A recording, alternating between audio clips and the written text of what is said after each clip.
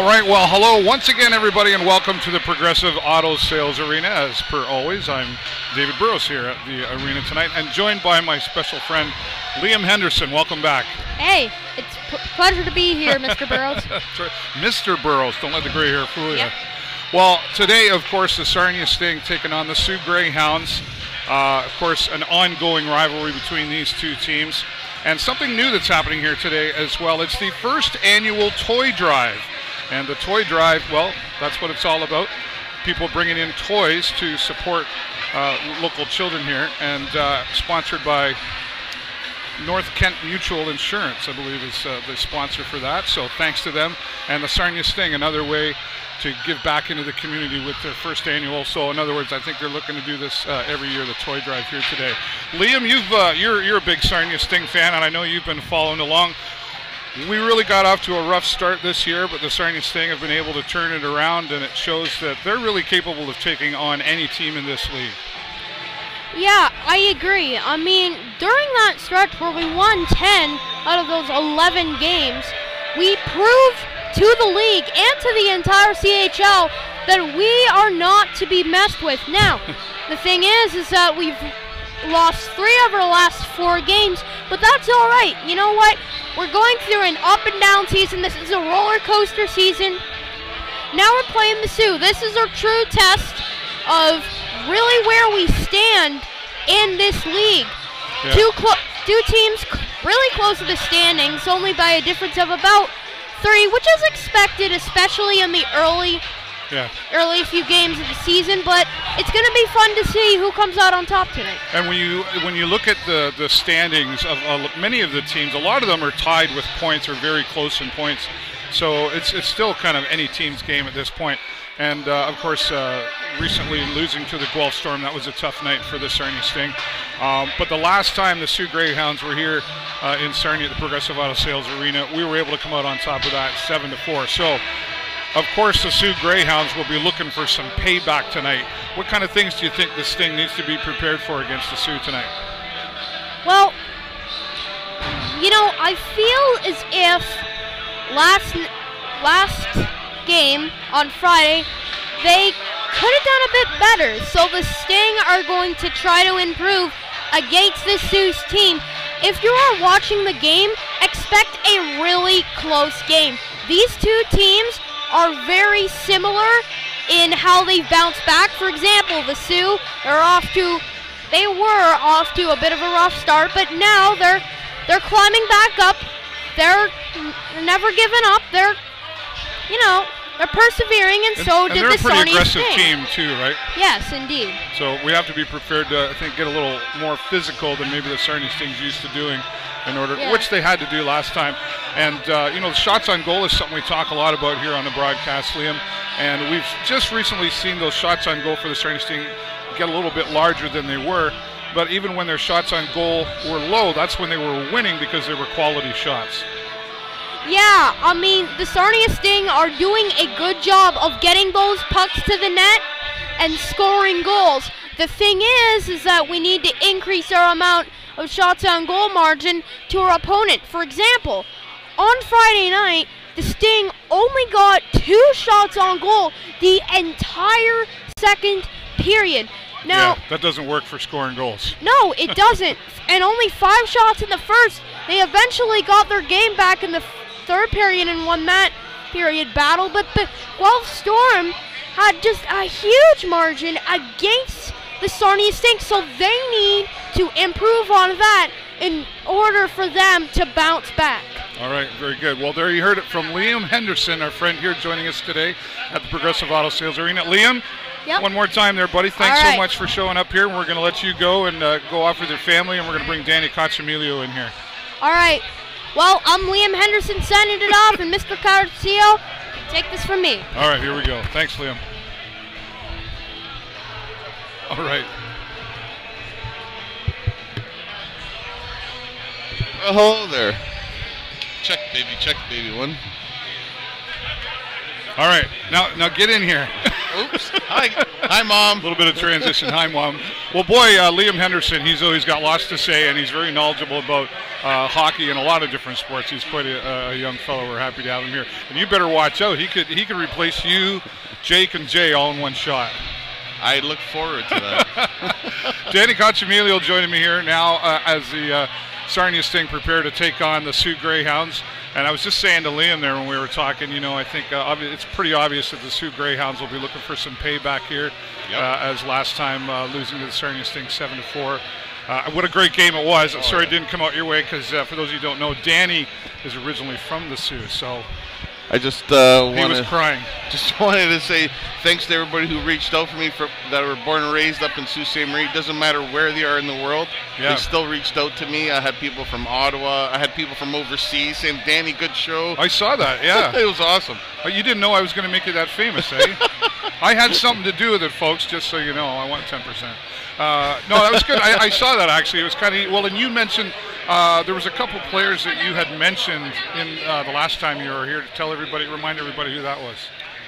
Well, even uh, oh God, there are so many. Uh, Wasn't there? Wasn't there? Uh, there was a story you told about uh, the passing the pu- passing the puck or something and getting a goal. Or, oh, uh, with Steve Spina. and- Right, right, yeah. Steve Spina and Brad Baber. Actually, Steve Spina. Uh, hey, Stevie and Paul.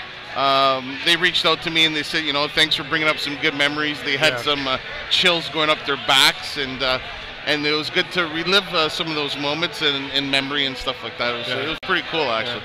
It's uh, you know I, I enjoy that uh, conversation that we had because you know when we come here we talk obviously we talk a lot of hockey and who's going to do what and everything else. One of the things we don't talk enough about I think is the relationships that are built Yeah. between players, uh, between fans, coaches. There's a whole community going on here in this hockey world and these relationships that are built are really important as you said bringing up memories from years past. Oh, for sure. There's a lot of uh, uh, Sault Ste. Marie Greyhound players that were not originally from Sault Ste. Marie, played in Sault Ste. Marie, and uh, made a lot of friendships and married some uh, women from Sault Ste. Marie and still reside in Sault Ste. Marie. And uh, like Jeff Toms, Kevin Hodson, uh, they went on and played the NHL. They had, now they have uh, good uh, good careers in Sault Ste. Marie. They raised raising a family, beautiful Yeah. homes and stuff like that. You know, and the hockey, uh, the world of hockey gave them a life outside of hockey, and you know now they're providing for their children and they're enjoying life. Yeah, yeah. And uh, of course, now let's take a look. Let's talk a little bit more hockey. Um, obviously, you want the Soo to win. I get it, but we want this thing to win. But uh, on a serious note, uh, I mean, we've seen uh, the Sarnia Sting uh, get off to a bad start this season, but turned it around with like 10 out of 11 games having wins. And Yeah, rough um, start, rough start. now they're the last three games haven't worked out so well for them. So a couple things I'm seeing is obviously the Soo want some payback against Oh, their, for sure. their rivalry, uh, Sarnia Sting. But the Sarnia Sting, having coming off losing three recently, they're hungry. Oh, what team isn't hungry after losing three, Right. four, or five? But the thing is, the Sault Ste. Marie had the flip side of the coin. They came out strong in the beginning of the season. They won uh, five or six games straight, whereas Sarnia lost that, that same amount of games. Yeah. So, um, if the Sarnia Sting plays as good as they did in the first two periods of the last game they matched when they were matched Yeah. up, it's going to be a tough game for this for the Greyhounds. But if the Greyhounds come out and play as hard as they did in the third period, in this first period, Yeah. this thing better brace themselves. well, they better be ready. And it's interesting that you bring up that point because one of the things we've talked about uh, post-game interviews, uh, even with the players, is the first period doesn't ever seem to be the best period for the Sarnia Sting. Seems to be the second period's always the best. Yeah. Uh, I mean, and even if you go back to looking over the the uh, game that they won against Flint recently, back-to-back goals in their second Oh, period for- was yeah. just an amazing period. Third period was still good in there, but it just and and I don't know what it what does it take to change that in there. You know, you come out and you have the conversations. They know that the first period's been their weakest period, so knowing that, what's stopping you from doing that? What's Well, got to change? you got to remember there's a lot of different parts of this game. Sure, there's a big physical presence of the game, but there's also that mental capacity of the Yeah. game. And if once they're in the dressing room and they're talking and they're like getting each getting on each other, say, okay, guys, we got to do this as a team. We got to we got to get get out there. We got to get hungry. We got to win. Yeah. And that's what happened in the second intermission in the Sault Ste. Sault Ste. Marie Greyhounds locker room. In the Sting locker room, they're like, "Oh, we got this locked up. It's Well- six to one." We're not supposed to get complacent, right? Yeah. And they know that, but it's we're human, so it's easy enough to do. It's a 60-minute game. You got to play 60 minutes to win the game. Yeah, for sure. And uh, uh, you know, it, it, it, we can talk about hockey all we want, but we don't know what's going on in that locker room right now, No. and uh, who's what's going on on the personal side of any of these players. Uh, one of the comments that I did make last time uh, with uh, Jake Tursky when he was here was, "Are they trying? Like it seemed like the Sting were trying. You can try too hard." and he wasn't. Jake didn't wasn't sure that that was the case. He called that just being competitive. But then I heard somebody else saying, "You know, "We're trying too hard here to just, just Yep. You're you overthinking. can't, you Yeah. can't, right? Overthinking. It can't be too fast. Everybody wants to be fast, but if you, and, and they showed it when they slowed it down a little bit, but played and went back to the and read the textbook. That's when things started working out. when when the players look like they're relaxed out there, that means they're gelled very well together. They can play together, and the goals will just happen like that. Yeah, When the guys are looking like they're trying too hard, that means they're not ready. That means they're not playing together properly. Yeah. You got to mix up those lines to get those guys who play well together and make it look effortless. yeah.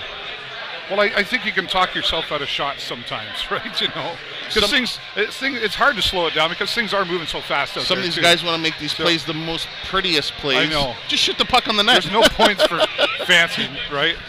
My dad, when I played baseball, I used to get all, you know, but he, there's no points for fancy. Just put it over there, right? exactly. And, and get it across the plate. And in this case, get it into the, as Jay Peckham would say, get it into the little meshy thing. oh, hi, Don't- Jay. Don't, yeah, hi, Jay. Jay was actually, he's busy. Uh, they have uh, a Christmas Carol on Yep. at uh, Imperial Theater, and uh, so he's working hard at that. All right, well, uh, about 10 minutes away before the Sarnia Sting come out onto the ice here tonight. What will happen? Well, we'll keep you updated.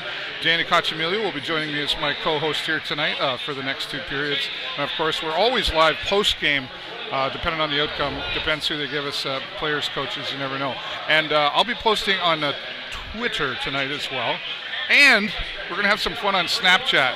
So find us on Snapchat. And uh, oh, yeah, the director Jason's looking at me like, really, Dad? Here we go. We're going to have fun with that. All right. For the show live on location, once again, I'm David Burrows here at the Progressive Auto Sales Arena with my friend Danny Coccimiglio. We will talk to you soon. Pound power. Ha ha ha ha!